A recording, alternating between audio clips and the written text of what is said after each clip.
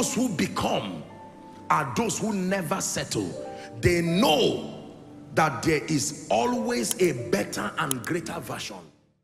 Knowledge of the average believer, and I thought to bring this down home also to help us. Seeing and knowing that you're excelling in this kingdom is primarily predicated on the level of spiritual enlightenment that you have. Listen carefully. The Bible says that the God of this world has a principal assignment to blind the minds of people so that they are ever learning but never coming to the knowledge of the truth. Are we together? Hosea chapter 4 and verse 6. The prophet lamented and said, My people, speaking by the Spirit, are destroyed for the lack of knowledge. Not lack of knowledge of what they want, but lack of knowledge of what it takes. Listen carefully. Most people know what they want, but you need to know what it takes to bring forth what you want. You want a life of peace. You want a life of glory. You want a life of beauty. You want a life of excellence. You want a life of ever increasing manifestation of God's power. Your needs are not new to you. But the Bible says, my people are destroyed for the lack of knowledge. Knowledge of what? Knowledge of the requirements. What it takes to actualize what you desire. And it says, because thou hast rejected knowledge. Anything rejected means it was offered you. And then for whatever reason, you were able to reject it. And God will respect your right to choose. But there are consequences when you reject knowledge. Can I tell you this? I was talking to the School of Ministry students. We had a brief session yesterday and I was encouraging them. Your life will not change just by default. Your life will not change just because you are a Christian in theory. It is going to require you having understanding, thorough knowledge and understanding of the ways of God, thorough knowledge and understanding of the principles of the kingdom.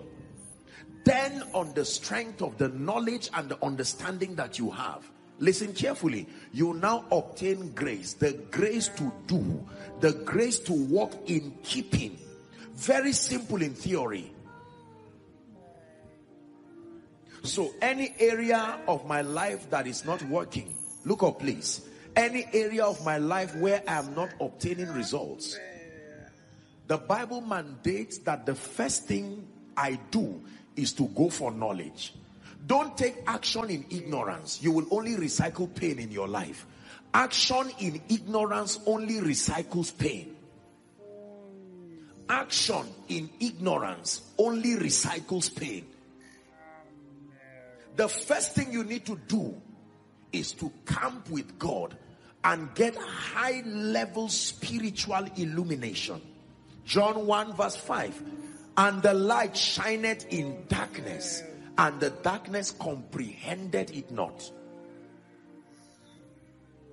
Many of you have heard me give this revelation. It is powerful how light works. Look up, please. A room that has been dark for 10 years, a room that has been dark for two weeks. A room that has been dark for one hour. A room that has been dark for five minutes. If you switch on the light in all the rooms, they will answer to light, the light at the same frequency. The room that has been dark for one year will not say, no, I, I need time because I've been dark for long. No. That means that even if you have been in darkness for 10 years, the moment light comes, the result and the dominion power of light is instant. Very powerful revelation. That you have dwelt in darkness for a very long time and then the light of God's word comes in a moment, in a twinkling of an eye, you can be sure that this reign of darkness has gone forever. Whether it is in the area of your spiritual work, in the area of finances, in the area of your influence, kingdom service, whatever it is. That means if people do not make progress with their life, their retrogression more than being traceable to demons is traceable to the dominion power of darkness. Darkness creates stagnation. Listen carefully. Darkness creates stagnation. Darkness grounds a man at the same position. And I've told you that time does not change anything. Time only reveals. It takes access to light. Isaiah chapter 60 and verse 1. Arise, shine, prophesy to yourself. Say arise. One more time, shout it, say arise. It says, arise, shine. Why? For your light is come. Not your light is around. It has always been there.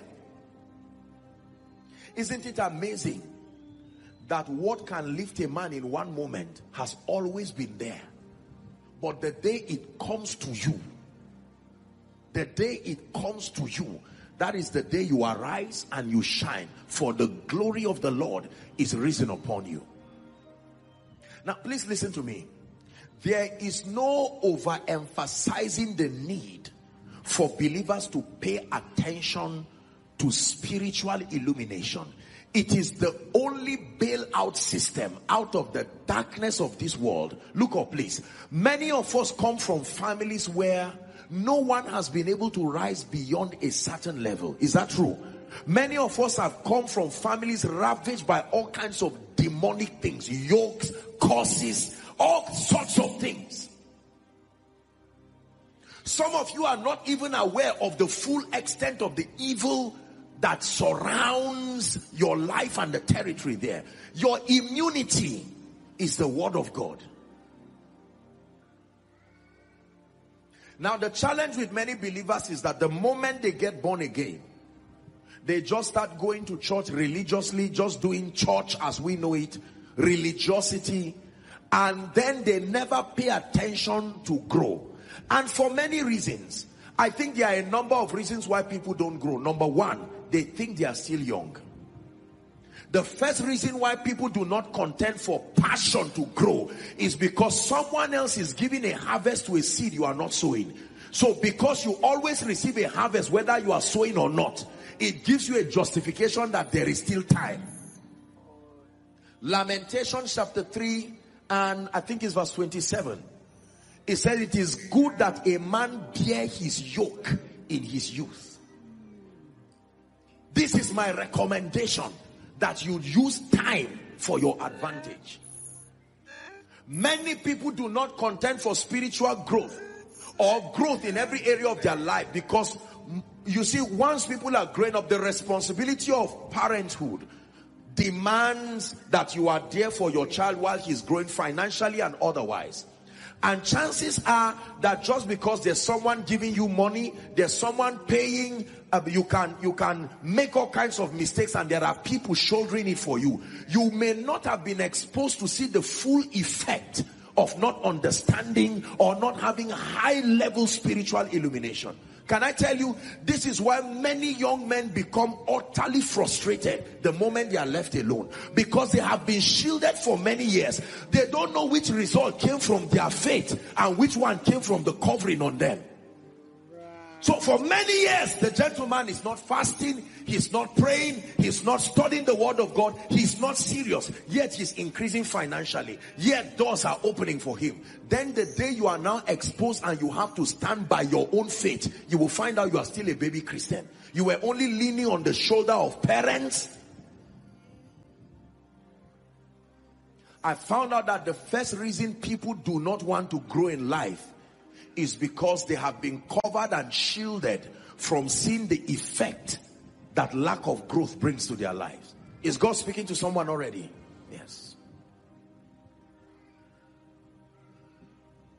Why should I be faithful in keeping financial principles, for instance, for my increase and my lifting? When I have maybe some pocket money coming, when I have some money coming from some loved one, whether I pray or not is coming. So when we are teaching things about favor, when we are teaching things about diligence, chances are that that message will not really mean anything to you. You just say amen when everybody is saying amen. But somebody who knew where he came from, hallelujah, that person will easily receive. Can I tell you, there is a measure of pain that is a blessing. Because pain sometimes has a way of creating passion don't be too quick to stop pain in people. Listen to me. Not just, I'm not just talking of demonic oppression. There is a pain factor that can wake people up in life. The prodigal son, it was pain that woke him up. The Bible says he came to himself. Not that the Holy Ghost spoke to him, not that the Spirit spoke to him. Pain can make men come to themselves. Study your Bible. No, I will study one day. And then one day the person who becomes your principal breadwinner now says, From today, I'm not helping you again. Two weeks of utter frustration. By yourself, you will look for a forest to pray.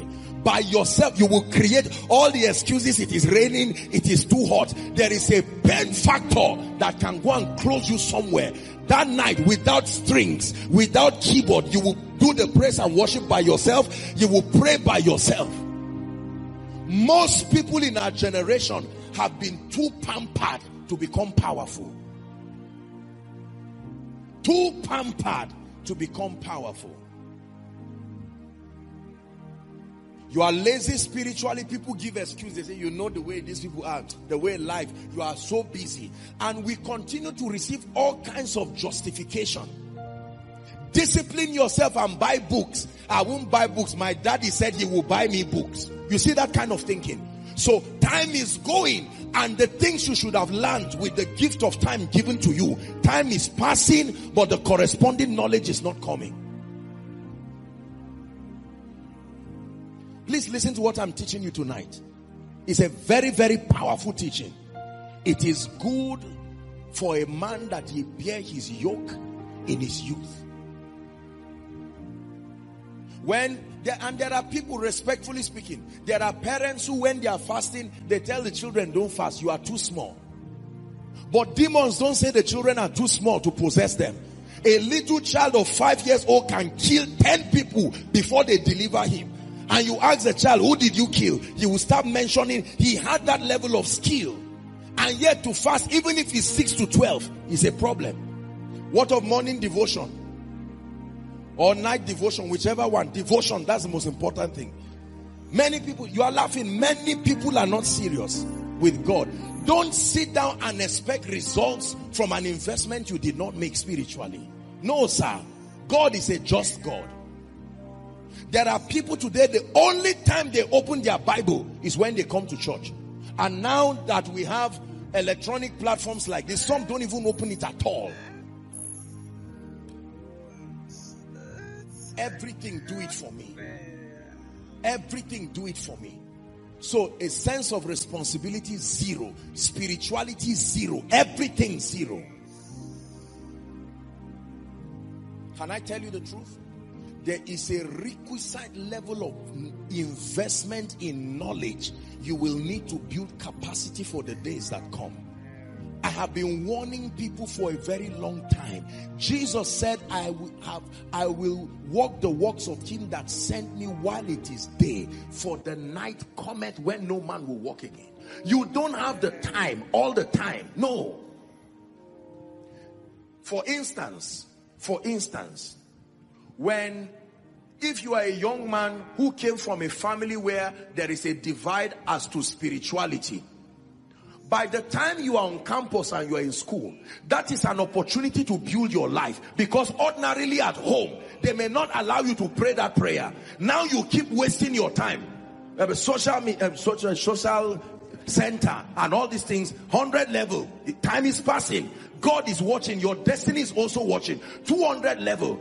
Some of your colleagues who may never be allowed to pray. Do you know there are some of you, if you were at home, you will never be allowed to go to certain meetings. You will not be allowed to carry out certain spiritual exercises. God now brought you out of your family using the guise of school. so that he can give you five years to build the capacity that your destiny needs. But many people continue to waste their time. And I tell you, the spirit of the waster is alive, especially in this our arrogant generation. Time is going. Now you are in 400 level, for instance. The only thing you know is what they taught you in class. Relationship zero. You have not you have not had friends. You've not made friends godly friends that can become a ladder for your destiny. And the holy spirit keeps warning you. People invite you for strategic programs you don't care. Because in your mind i have an uncle in nnpc or an uncle in a shell he promised me that as soon as i finish i will get a job and then just when you are writing your final year, he will relocate to Canada. Woe to him that puts his strength in a man. Please pay attention. The Holy Spirit is speaking to you again. There are some of you, God disguised. He brought you to Zaria to come and stay maybe with a family to work or to learn certain things. And you may be wondering, God, but why didn't you take me to Lagos and other places? God is saying, you are only here for three years. Use that three years well. This three years is the answer to the prayer that you've prayed in one prayer and fasting and said, Lord, I want to have a great destiny. In these three years, maximize the time. There are people who encountered God in their spillover year. It was in that frustration they were strolling around like madmen around their various campuses and the Holy Ghost landed upon them and they now said, Lord, thank you that I have a few more weeks to stretch it out in destiny. Everybody say knowledge. Can I tell you? My first assignment for you tonight is, can you list the five people who are currently wasting your time and wasting your destiny right now? I'm not saying write it, list it in your mind. Five things, the five top things that are wasting your time and wasting your destiny and not allowing you to access the kind of knowledge that you need. For some of us, it may be movies and media and social media. For some of us, it may be friends. For some of us, it may be laziness and carelessness. Oh, I don't have money. One day God led you to a fellowship where they shared free books. Five keys to building your faith. You looked at the person who wrote it and said, look at this guy. There's nothing faith on him. And you drop the book instead of you to open up your spirit and learn. Somebody who has four over ten, you who has zero, who is better? So when I tell you this, our generation is arrogant, I know what I'm saying. People who have no results, but they are the ones who sit down vetting the performance of those who are at least doing something. Someone who is trying and praying for one hour, you whose prayer life is under attack, what gives you the credence to talk about that person's prayer life?